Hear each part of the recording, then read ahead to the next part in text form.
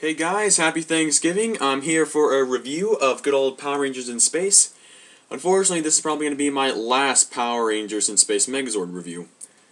And why, you ask? Well, there's a Titanus issue, Silver Titanus, I might say. I don't know if I should get him or not, I don't know, costs a lot of money, not not seen in the show, but who cares, wasting time, let's get on with, with my Thanksgiving review of the Mega Voyager. Personally, to me, the Mega Voyager is probably what I would call, you know, the standard Megazord for a five Ranger team. Granted, granted, only that this was the only five five Zord Megazord throughout the entire PR in space saga. And I and I will say that these Zords are they're actually they're actually pretty good. These Zords were found by basically using Zordon's key cards, and they were, well, you know, they were used by the five Rangers. So let's just go in order of the five Zords, starting with Mega V1. Mega V1 is Andros' Zord, obviously. It is basically the only Zord that can basically fight on its own. It has the hands, the legs, the head, you know, go figure. Its only real attack was just shooting beams through these little cannons on its shoulders. And that was really all it could really do besides walking around. In terms of articulation, his arms can go up like that, they can bend at the elbow, they can go all the way down like that, they can go back, and again they can only go pretty much that far back. Its only form of uh, feet articulation just by splitting them and splitting them like that, but that's only when you're going to form the Megazord. So, yeah, there's that. Let's move on to Mega V2, the Shuttle Voyager. This was controlled by Carlos, obviously. Um, it's basically just like a... It's just a simple spaceship, obviously. Nothing really much to talk about him. He can just, you know, just like fire lasers from its wings. And there's no really real articulation except you can pull this up.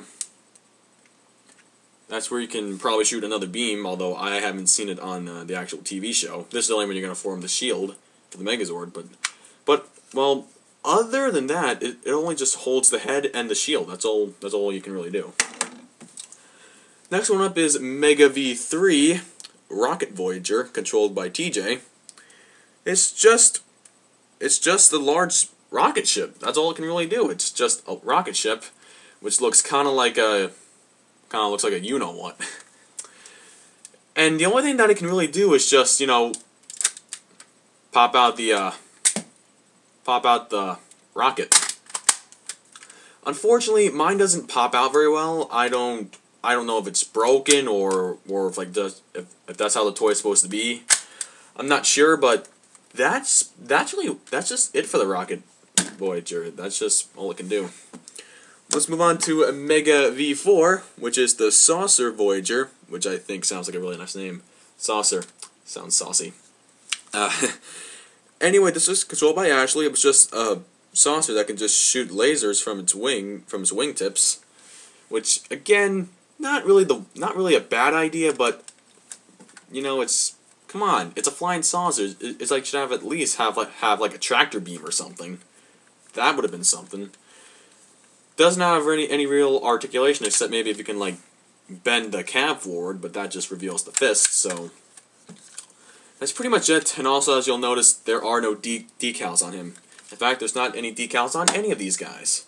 Because unfortunately, the guy didn't have didn't have the sticker sheet, so oh well.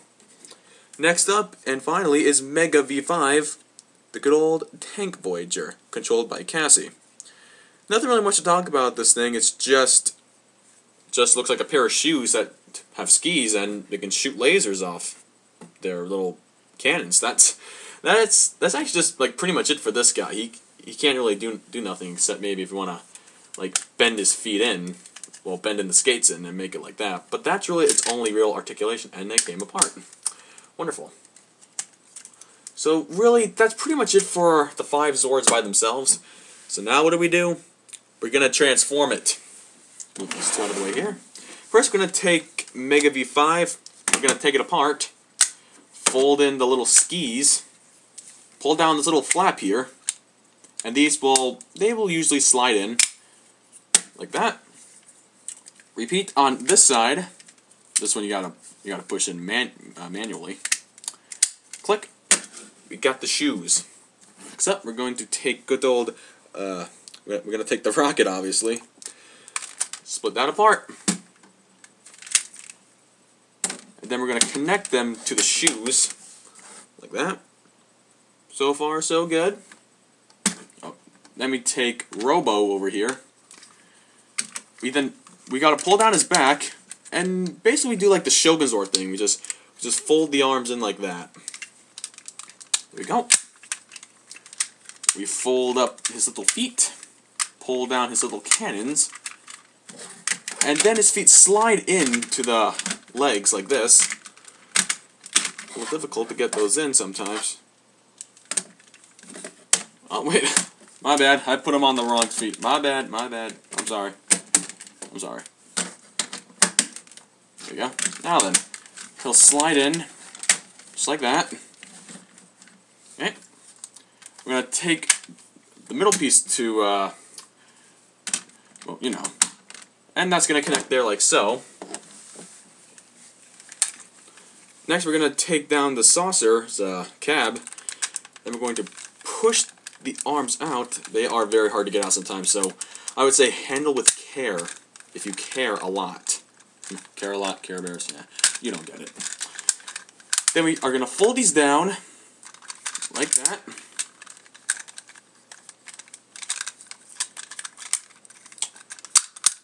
There we go.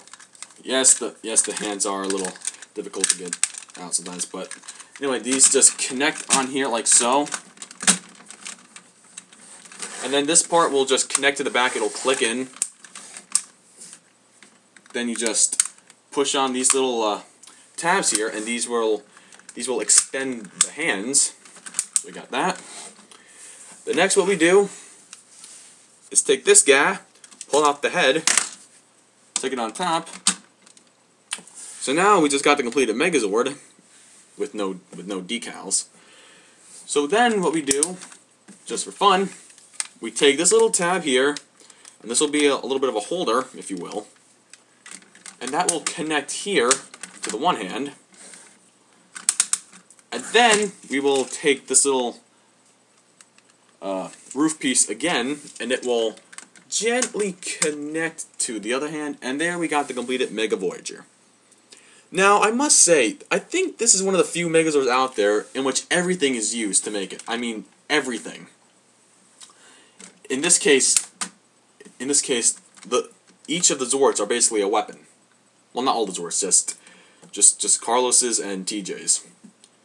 Basically, the basically the the Zords are just the weapons.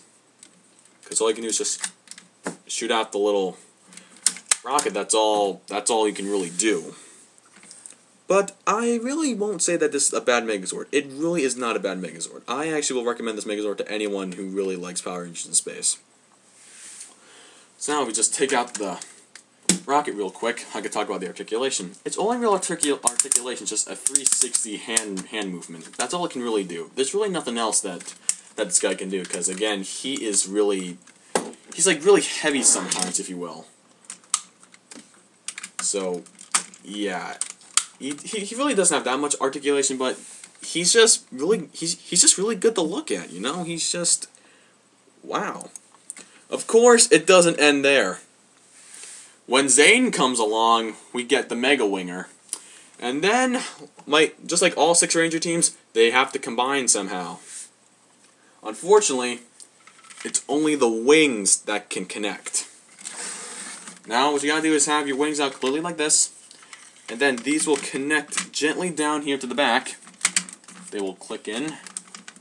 Yeah, they're in. And now you got the Winged Mega Voyager. Kind of a weird name, but it's true. It's it's winged. So the only thing that it could do is just really just like fly around. It could just fly around, and it can just shoot off like flying flying rockets. That's all it. That's all it could really do. So I'm guessing to just a certain extent, you can you can consider this to be a six Ranger Megazord, since it takes basically six Zords to make this thing. Although maybe they, you know, could have found a way to make it so that the entire Mega Winger could like fit in here. So that way you could you could kinda kind of get you know like a little Ultra Zord going on here. I don't know how it would be possible, but I'm just saying it's just an idea. But overall, this is a great Megazord, guys. I definitely say pick him up. He is a very good centerpiece to your entire Power Ranger in Space collection. Might I recommend you get him with the decals? So far, I am currently waiting to see if there is either A, a full sticker sheet on eBay, or B, that Retro Labels will come out with their own sticker sheet for the, for the Mega Voyager. It's probably unlikely. I really don't know what to really expect, but hey, we'll just have to cross the bridge when we get to it. So, there you go. Anyway, guys, that's it for this review. I hope you guys enjoyed it. Have a great Thanksgiving, and I will see you around for another review. So, take care.